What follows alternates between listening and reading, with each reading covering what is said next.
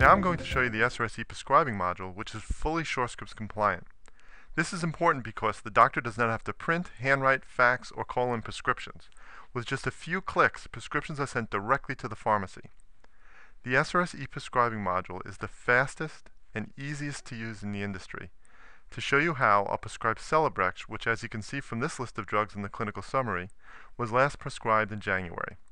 And then I'll write a first-time prescription for the patient, which will be Flexeril 5 milligrams. All of this will be done with just four clicks which means SRS works as fast as a doctor can think. To access the RX module, I'll click on the RX button right here at the bottom of the screen. Notice that the SRS prescription desktop is extremely ergonomic. There are not a lot of buttons, drop-downs, or checkboxes to distract you. It's very easy to use and learn. At the top of the screen is the patient drug history area. Notice Celebrex is highlighted because it is the most recent prescription made by the doctor. Below, in the instruction area, we can see the different instructions that pertain to Celebrex.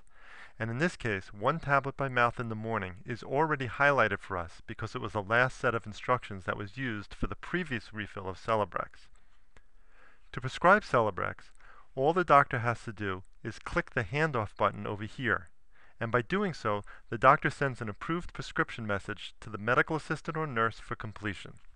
So I just refilled Celebrex with only one click. Now, if I want to prescribe a medication that I haven't previously prescribed for the patient, all I do is click on my favorites list, and this will bring up the doctor's favorite list of drugs right here. Like I mentioned before, we want to prescribe Flexeril 5 milligrams, so I just click on that. Now looking over at the instruction area, I can see my most favorite instruction is already pre-selected, so all I do is click Handoff, and that completes the prescription. So that was only three clicks to write a new prescription, which is much faster than the estimated 23 seconds it takes to handwrite a prescription. So with just four clicks, we prescribe two medications as fast as the doctor can think. Now let's time how fast two prescriptions take with a stopwatch. Okay, I'm back where I started. The stopwatch is at the bottom right of the screen. I get ready, get set, and go. I refill Celebrex, go to Favorites, find Flexeril, refill Flexeril. That was 4.9 seconds. Nothing in the industry is faster than prescribing with SRS.